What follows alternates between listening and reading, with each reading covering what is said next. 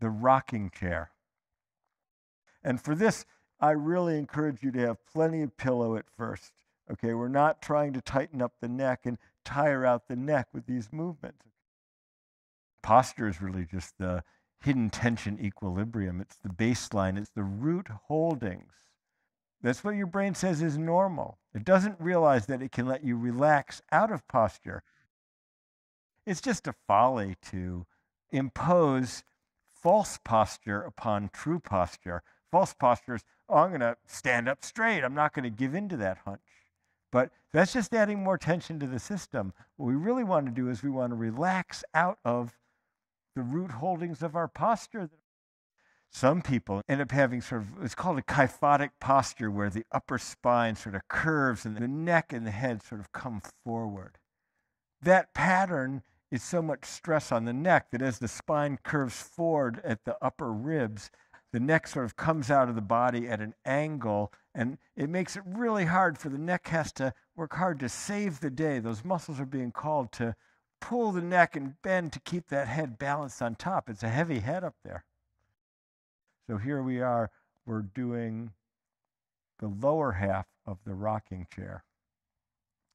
The lower half, uh, feel your feet on the mat and feel your arms on the mat, maybe the wrists are on the mat. And if you start to push your elbows down a little bit, just push the elbows down a little bit and feel maybe a tightening and a hardening in the back of the back of the shoulders, okay?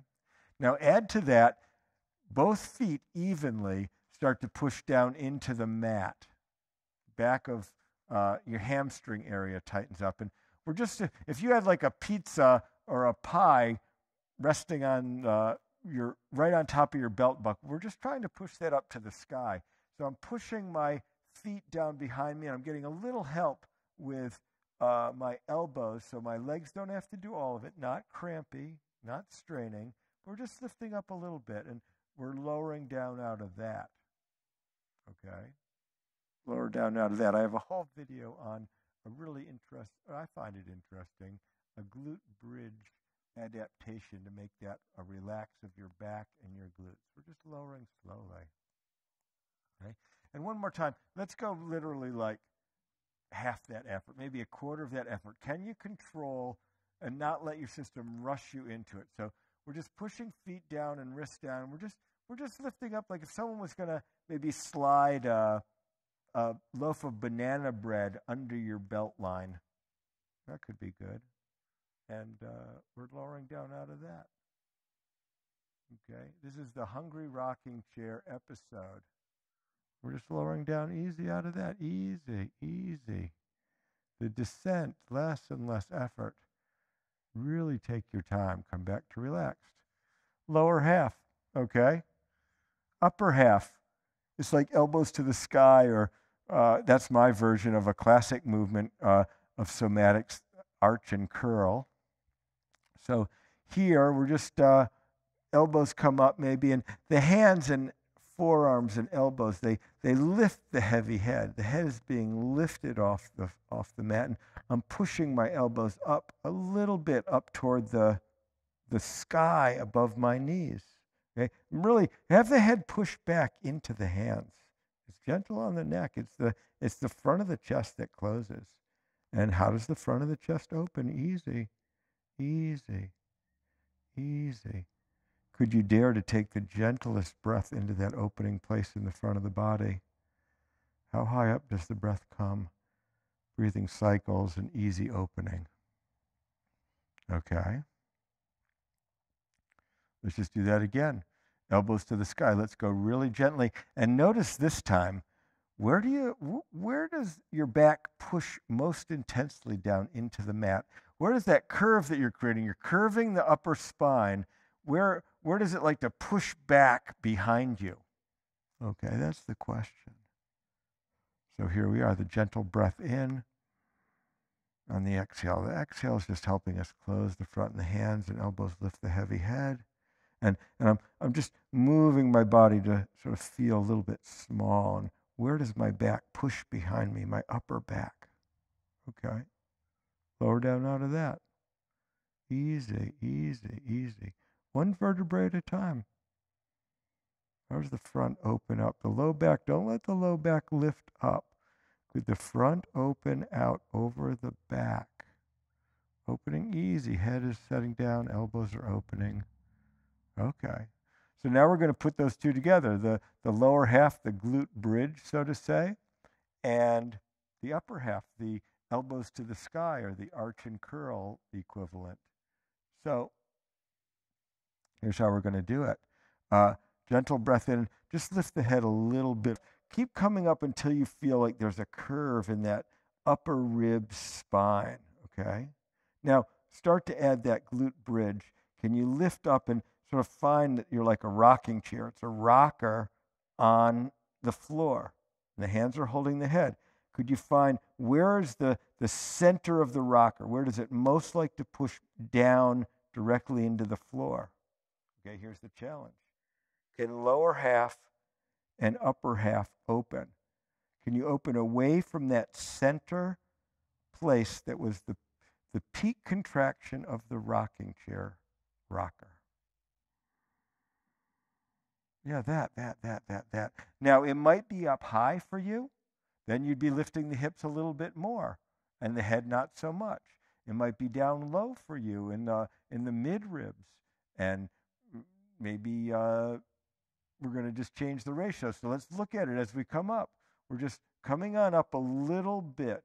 Head lifts a little bit. The hips lift a little bit. And come into that rocker. Make it a really nice, nice, just a continuous curve. And where does your back most like to push into the mat right now? For me, it's pretty low today. And okay, where's that place? The epicenter, it's so strong it could hold it all day. But could we lower out of that? Focus in there. Look in there. Is there? Can you see what? How does it move apart?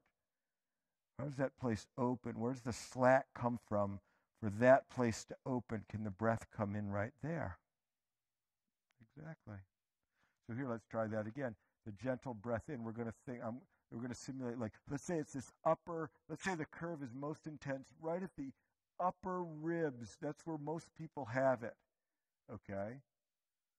So the gentle breath in, and it's the it's the it's caused by the tensions of worry and disappointment and depression and despair and grief and all those things that we we we need to feel that sometimes. That's part of life. But I'm not saying don't feel that.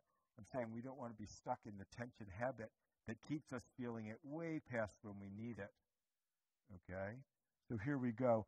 Uh, I'm closing up. In a way, I'm just sort of pulling my, I'm lifting my head to bring my chin to my chest. Okay?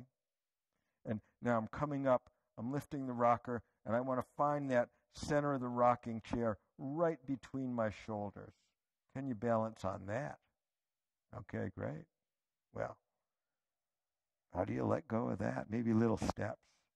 Little steps start lowering. We're going to pause in a minute, pause, and close back up into it push just that part, the, just the set that the point of the rocker that touches the floor, push that into the mat.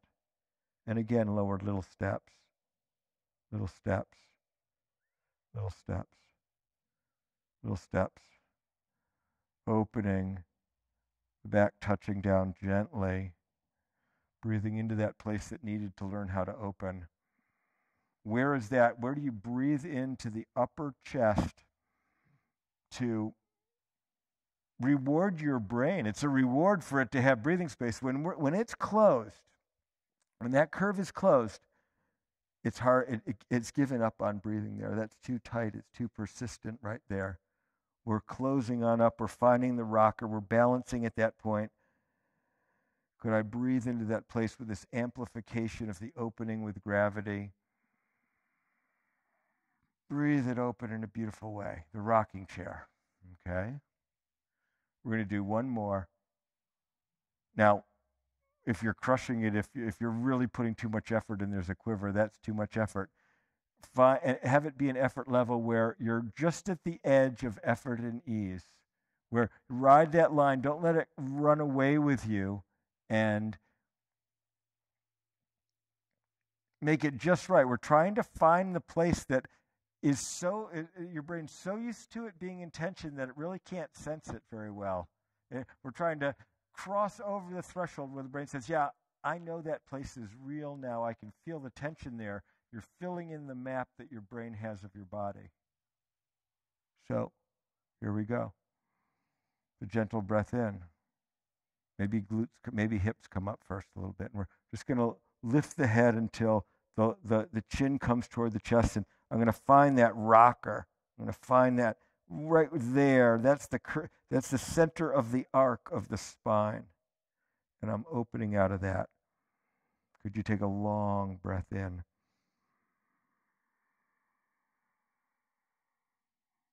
Yeah, that. There, there you go.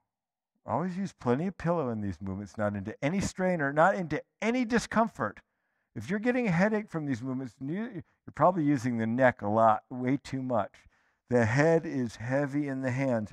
Try some of these movements where it's almost, almost, you would think it's not enough effort. It wouldn't work with that little effort. I'm just lift, barely lifting the head up. I'm barely lifting the hips up. I'm going to find that center, that rocker what place is pushing most into the body, into the floor. Sometimes I feel that one side of my back is pushing into the floor more. I'll say, okay, now that, how do I open out of that? What place has to open out of that? Okay? You can look at the asymmetry. It's a you, you can run with this. You know, you make it your own.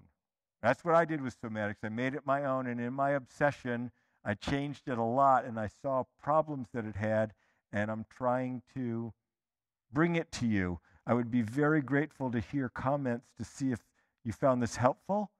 Let me know what you learned and what you discovered. How did you how did uh, how was it as you went about your day after this movement, the rocking chair?